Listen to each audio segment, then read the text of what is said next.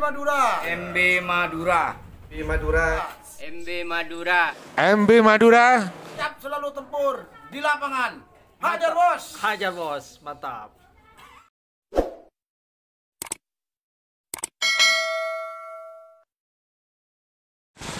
Jenengan domisilinya di mana, Bos? Sidoarjo. Sidoarjo. Ya, asli. Main merpati balap mulai dari awal sampai sekarang break itu kapan mainnya sampai? 95. Itu sudah langsung serius ke event besar atau masih lokal? Enggak, saya masih main di lokalan.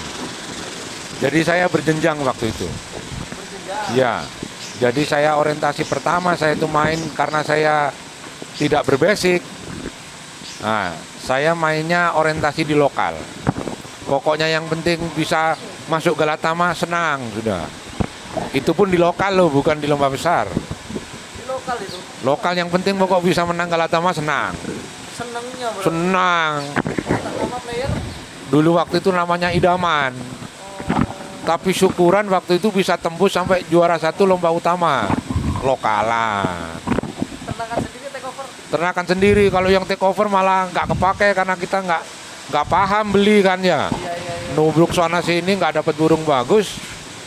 Malah ya dapat burung seperti itu. Nah, terus lanjut. Habis idaman playernya Ah. Saya beli dari Sumeneb. Namanya dulu itu Iraswara. kira suara penyanyi Ya, dangdut. penyanyi dangdut. Dari namanya yang saya beli sekarang jadi sahabat saya itu namanya Munir Khan. Munirkan. Ya. Terus burung itu waktu saya beli langsung juara waktu itu.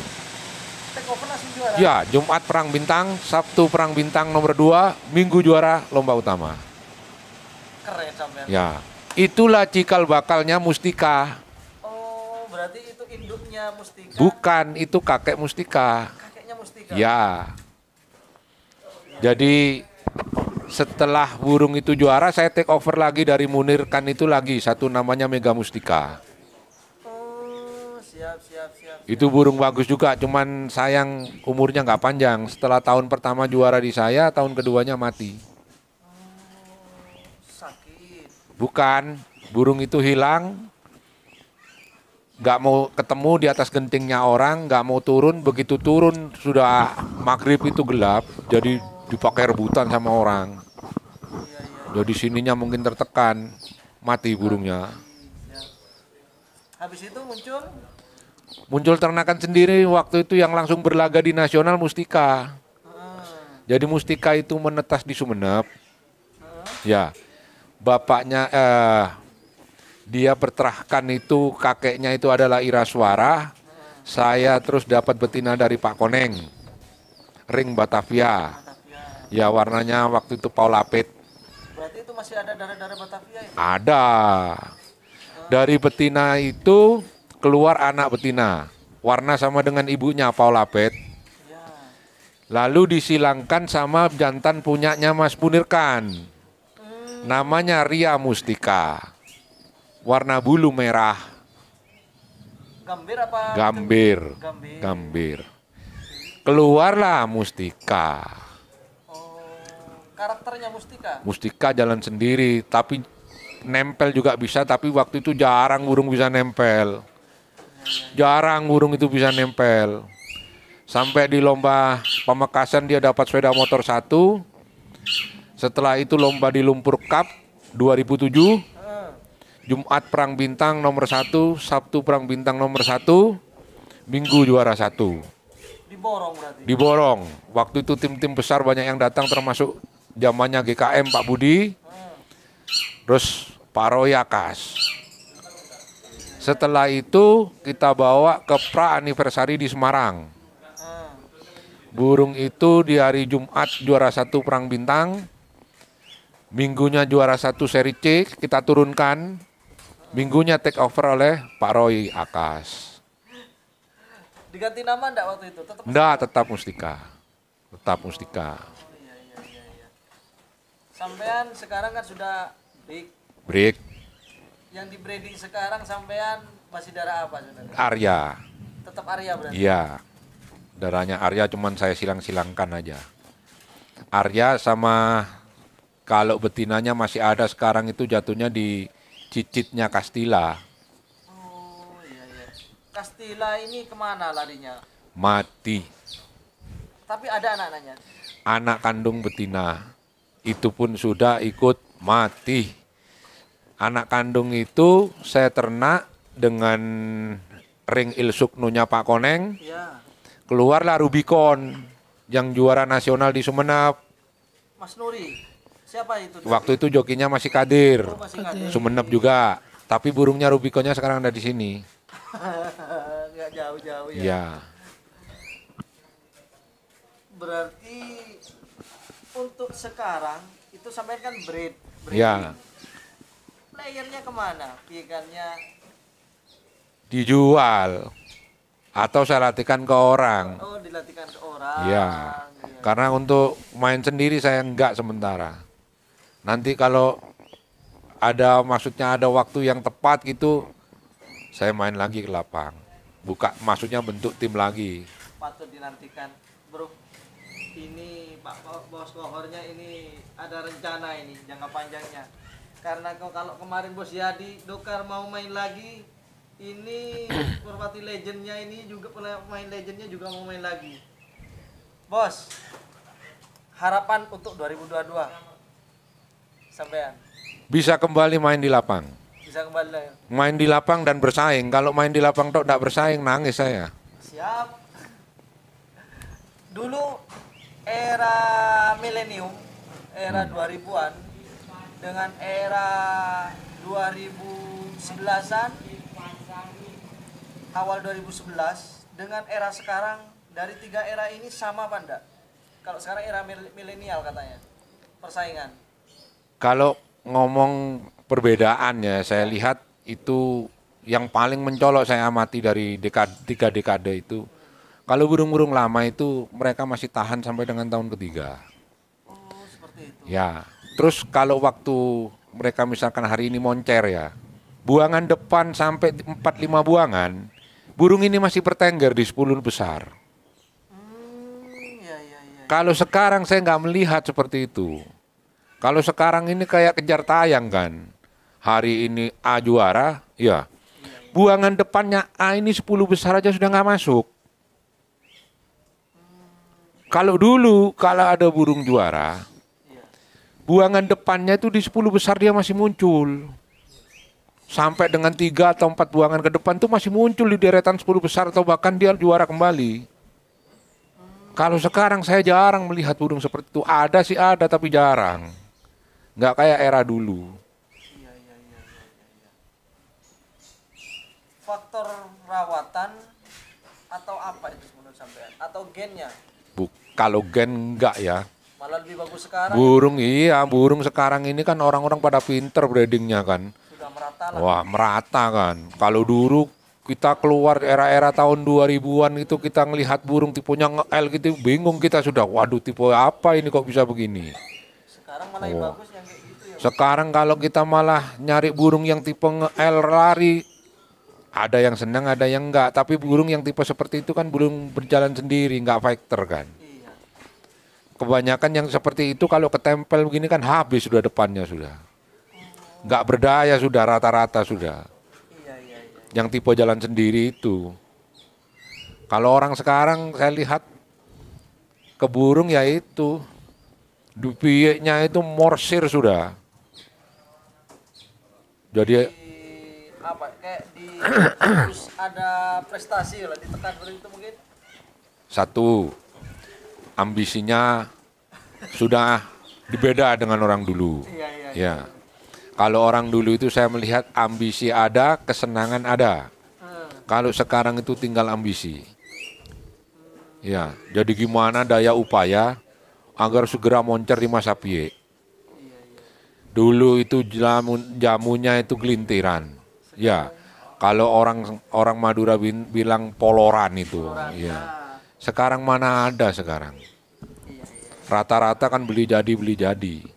Kalau sampean untuk sekarang ini pakai mau pakai yang Saya terakhir dekade 2014, 15, 16 itu pun tetap poloran. poloran berarti tetap mempertahankan mempertahankan itu ya bos ya. Saya Veta nggak berani nyentuh.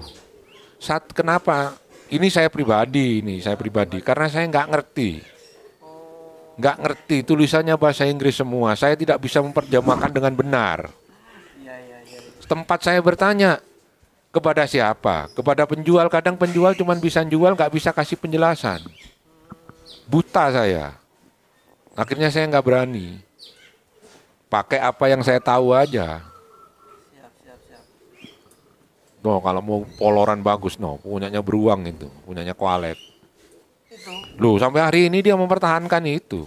berarti dia tetap pakai poloran ya. Pakai poloran, pakai gelintiran itu. Cuma dia minum pakai yang di lapang, dia pakai yang dari produk Belgia, nggak tahu saya namanya apa itu. Siap siap. Punyanya versi Lilaga itu.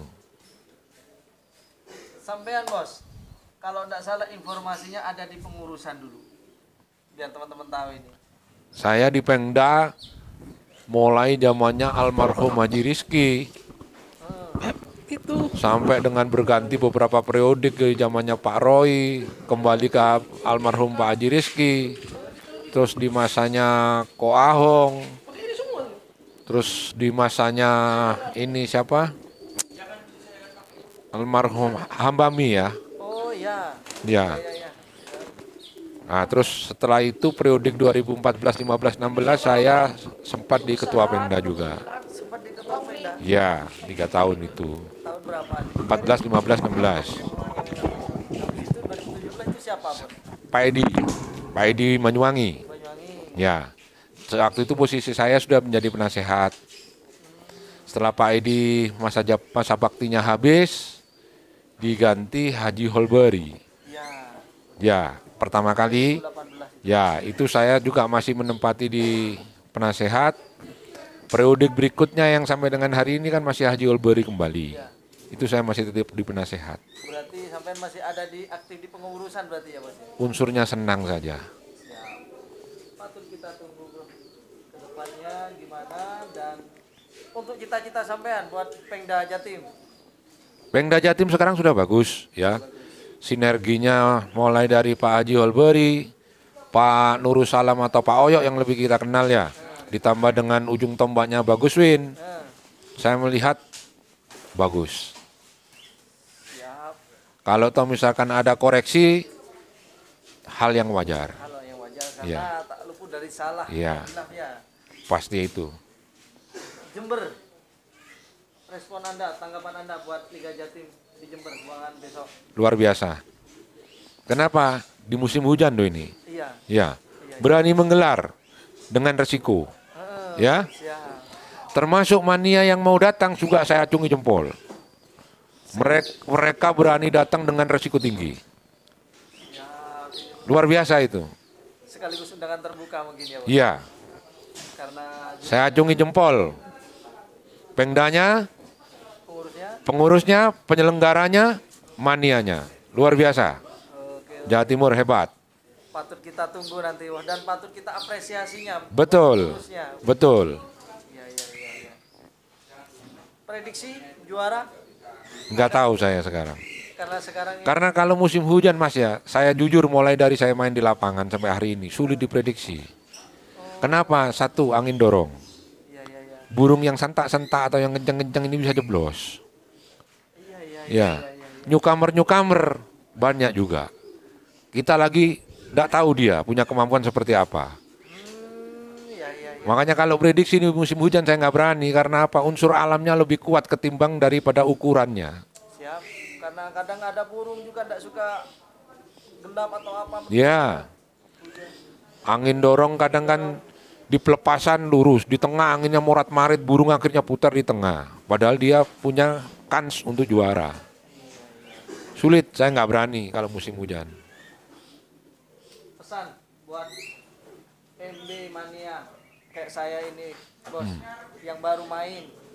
Pesannya buat teman-teman yang lain. Eksis saja di jalurnya juara. Tapi eksis di jalur juara itu bukan hal mudah. Tetapi hal yang tidak mudah itulah yang menjadikan kita juara. Satu kelas yang pintar cuma satu. Eh, Juaranya di lomba juga cuma satu. Maka siapa yang luar biasa dia yang juara. Kalau yang biasa-biasa nggak akan jadi juara. Totalitas dan skill Totalitas skill itu sudah pegang utama. Kalau uh, soal finansial ya, saya katakan itu sekundernya. Ya, primernya ya dua ini. Kalau emasnya nggak yakin terhadap apa yang saya sampaikan, emasnya bisa lihat. Hari ini aja nggak jauh-jauh. Orang yang bermaterikan finansial jauh di atasnya, itu hari-hari ini malah nggak juara. Ini kan sudah kasat matanya ini. Ya, bahwa skill atau keahlian dan kemampuan daripada tim di dalamnya itu lebih menentukan ketimbang kekuatan finansial. siap Itu fakta, kita tidak bisa pungkir. Fakta itu. Jadi itu aja kalau saya pesan ke MB Madura untuk rekan-rekan semua di Jawa Timur, kalau main totalitas, eksislah di jalur juara. teman-teman MB Mania aduh ini sudah gamblang ini sudah ada tip yang bagus tinggal kita aplikasikan praktekkan Iya, implementasikan buat ke depan kita berada di jalur juara jalur juara. Eksislah di situ. siap itu saja bos mungkin Terima kasih Terima banyak. kasih banyak Eh, itu saja bahasannya dari eh, bos Kohar kalau bukan kita generasi yang meneruskan hobi yang Ya. meneruskan urat ini siapa lagi? Mari kita belajar. Jangan suka-suka bertanya dan aplikasikan. Jaga ego kita karena apa? Eh, kita harus menghargai juga yang dulu pemain yang lama juga melahirkan darahan ya untuk yang menjadi Ya. sekarang ya bos ya.